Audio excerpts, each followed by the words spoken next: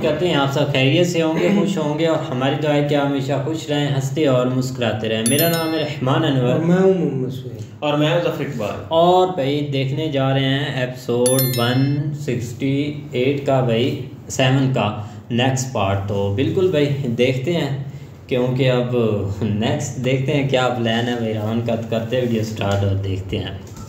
कोई छोटा या बड़ा नहीं हो जाता। आप माने या ना माने किंतु आज के युद्ध के बाद आपके शत्रु ने आपको छोटा बना दिया। हम्म, सही बात है। आपकी आज की पराजय आपके लिए संकेत दे रही है कि आपको अपने उद्धार के बारे में सोचना चाहिए। अन्यथा इस बलशाली रावण को एक वनवासी शस्त्रहीन कर दे जिसे आज तक यक्ष नाग गंधर्व देवताओं में से कोई पराजित नहीं कर सका। एक साधारण मानव पराजित कर दे। असंभव स्वामी असंभव।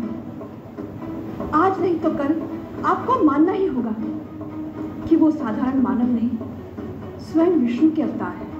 हम्म, अभी भी समय है स्वामी। रानी हम्म, समय लंकेश से बलवान नहीं। समय लंकेश के साथ चलता है। लंकेश समय के साथ और जैसे जैसे रावण ने पी हुई। और कल ये पूरी सृष्टि देखेगी। कल जब युद्ध में आपके विष्णु अवतार राम और उसकी सेना का संहार करूँगा मैं। हम्म, चलो विकल परमात्मा। मेरा विजय घोष केवल लंका में ही नहीं बल्कि पूरी सृष्टि में होगा।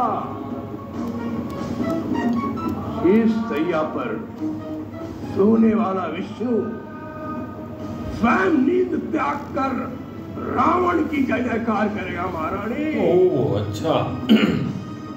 स्वयं आप आप कल लंकेश की जय जयकार करेंगी। मैं आपके मुखारबिंद से सुनूँगा महारानी। आप बोलेंगी लंकेश की जय। लंकेश की जय। अब इस युद्ध में समस्त राक्षसी शक्तियों का एकत्रित होना अनिवार्य है। अच्छा। इस पृथ्वी पर जहाँ जहाँ राक्षस जातियाँ हैं लंकेश का आवाहन, सुना दो। उन्हें लंका की सहायता के लिए सज धज कर दल बल के साथ लंका आना होगा। दसों दिशाओं में जाओ। ये राक्षस जाति की प्रतिष्ठा का प्रश्न है। सेना का अंत करने के लिए अब हम राक्षस जाति को एकजुट होना होगा। और इतनी जल्दी? जाओ। हाँ। जाओ।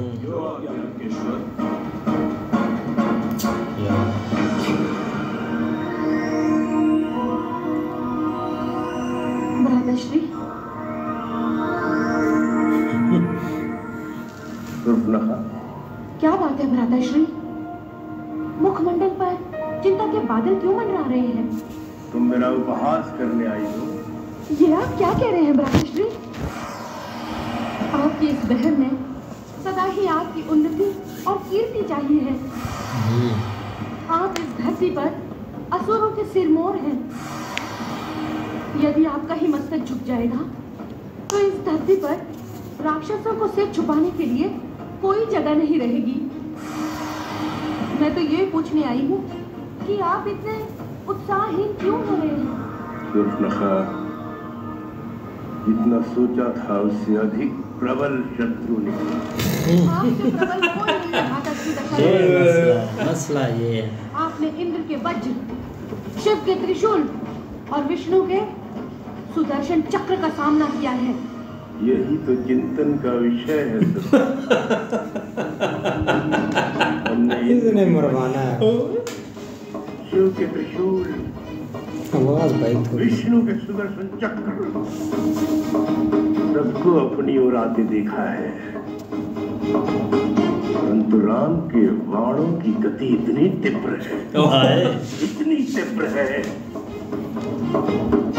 कब धनुष्य निकलते हैं और कब लक्ष्य पर पहुँचते हैं दृष्टि पता ही नहीं चलता। खत्म राम ने युद्ध में जैसे मेरा उपहास किया। जैसे कोई किसी बालक के साथ खिलवाड़ करके उसे ये तो अच्छा ही हुआ भ्राताश्री। हम्म, पहले ही दिन आपने शत्रु की था पाली इसीलिए इसीलिए सरफलहा हमने राक्षस जाति को एकत्रित करने के लिए दक्षिण दिशाओं में अपने दूत भेजे हैं। कहीं दूध भेजने की क्या आवश्यकता है भ्राताश्री परम बलशाली शक्तिशाली भ्राता कुंभकर्ण कक्ष में सो रहे हैं। वानर सेना के लिए वो अकेले ही बहुत हैं। ओ मरवाओ कर। उन्हें जगाइए भ्राताश्री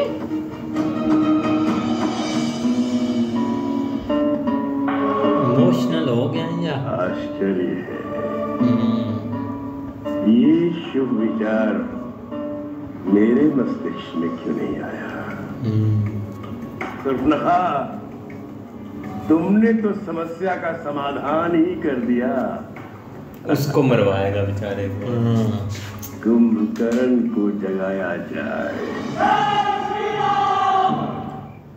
अब यदि रावण बुद्धि से काम ले और भैया की शरण में आ जाए तो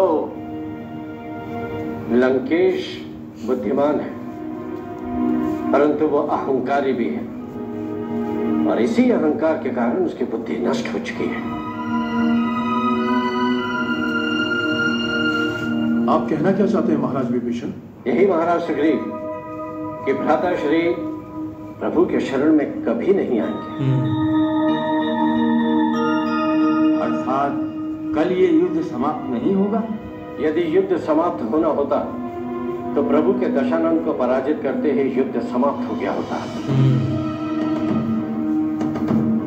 परंतु ऐसा नहीं हुआ।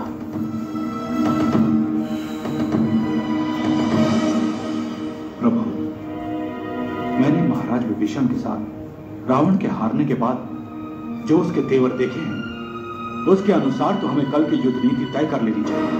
हाँ मैं तो ये सोच रहा था भैया कि कल रावण भाभी को सम्मान पूर्वक आपके पास भेज देगा। सौमित्र लंकेश अहंकारी है। बहुत। वो केवल अपने सम्मान को देखता है और किसी के सम्मान को देखने की उसे कोई चिंता नहीं।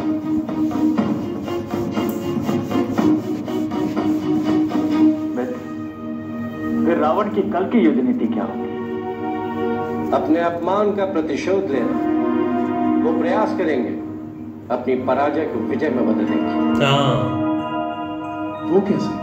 विजय दिलाने की क्षमता रखने वाले महायोद्धा को रणभूमि में उतारेंगे। हम्म, महायोद्धा कौन महाराज विभीषण? यदि मेरा अनुमान उचित निकला कल भ्राता श्री कुंभकर्ण। कुंभकर्ण। राक्षस सेना के सेनापति हो गए। कुंभकर्ण। हाँ जी। सही बात है भाई कुंभकर्ण क्योंकि अब रावण के पास कोई आगे भाई यहाँ पर चीज़ बची नहीं कि वो कुछ ऐसी चाल चले। लेकिन ये कि फिर भी उस तरफ़ देखा जाए तो फिर से महारानी ने काफ़ी समझाया भाई रावण को कि आप इन चीज़ों से बाज आ जाएँ या इन चीज़ों को थोड़ा बहुत समझ लें तो आपके लिए एक अच्छी है। लेकिन फिर भी वो अपनी जो ज़िद है, उसको तो वो बरकरार रखता हुए आगे बढ़ रहा है कि अपना जो हंकार है, उसके पीछे वो लगा हुआ है। लेकिन उस चीज़ को, उसको इस चीज़ से कुछ मिलने वाला नहीं, क्योंकि जो उसके साथ आज हो गया है, वो अपने मुँह से भाई मान गया जब एक बंदा अपने मुँह से मान जाता है कि, भाई, मेरे पास इतनी पावर नहीं है, वो ज़्यादा पावरफुल हैं तो फिर खुद मान जाना नहीं नहीं आज। मानना है। आज मान गया। है आज रावण अपना आ, मतलब कि अपना आप वो खो चुका है। खो अपनी चुका है, पावर भी जो भी मतलब कि वो सोचता था।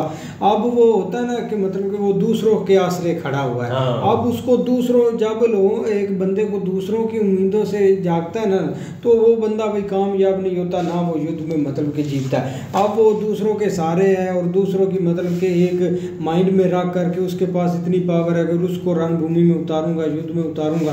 तो वो मतलब कि विजय होगा लेकिन ऐसा कोई सीन नहीं होने वाला। कुंभकर्ण एक मतलब था एक अच्छा इंसान था है तो तो राक्षस बहुत अच्छा इंसान हाँ क्योंकि जब एक उसने सीता जी के बारे में सोचा था तो उसने भाई एक एक ना तो भोजन किया था ना कुछ इनके साथ बैठकर उसने बातें की थी। हम्म। उसने बोला था कि मैं सोने चला हूँ क्योंकि ये लेकिन- आपने बहुत अधर्म किया। हाँ लेकिन साथ उसने ये ज़रूर कहा था कि जब ज़रूरत पड़े तो मुझे उठा लेना हाँ। वो हाँ। चाहे लेकिन फिर भी वो इस सहता ज़रूर इसकी कर रहा है रामन की लेकिन ये कि आप देखो ना एक तरह का रामन तो भाई बिल्कुल जो है ना वो हार चुका उसकी वजह भी देख लो वो खुद मान रहा है कि मैंने ये सोचा नहीं था कि वो कितना पावरफुल होंगे और मुझे समझ नहीं आ रही थी कि कितने तेज़ जो है ना वो तीर मेरे पास से गुजर रहे थे या मुझे लगे या एक तरह से जो है ना वो हिल गया था है लेकिन भाई अब जो है ना वो जहरी जहरी बात है पाँव से तो मतलब उखड़ चुका है। जो उसके अंदर एक तो मतलब एक खुमार था कि मैं ये कर दूँगा मैं वो कर दूँगा आप ठहरो मैं जाता हूँ मैं हर चीज़ विनाश करके आऊँगा। आज युद्ध जो है ना वो समाप्त हो जाएगा। लेकिन ये है कि वो कुछ भी नहीं हुआ वो बल्कि उल्टा जो है ना उसको ही पड़ गया। लेकिन आगे वाला जो सीन है ना वो थोड़ा टफ है। अब जहरी बात है हाँ उसने को उसने हाँ उसने वो अपने आप को नीचे गिराया है तो उसको एक दफ़ा अपनी वैल्यू दोबारा क्रिएट करने के लिए नेक्स्ट डे जो है ना वो एक अच्छा प्लान करके जाना पड़ना जिसके ऊपर इधर भी एक अच्छा प्लान तैयार करना पड़ना जिस तरह उनको भी पता चल गया है कि भाई और साथ में विभीषण ने बता भी दिया है कि नेक्स्ट ऑप्शन जो है ना वो कुंभकर्ण ही है। तो हम्म। उसके आप आगे सहायता करेंगे और उसके ऊपर जो है ना देखेंगे बिल्कुल ये आप देखते हैं कि नेक्स्ट बार में क्या होता है। तब तक के लिए गुड बाय टेक केयर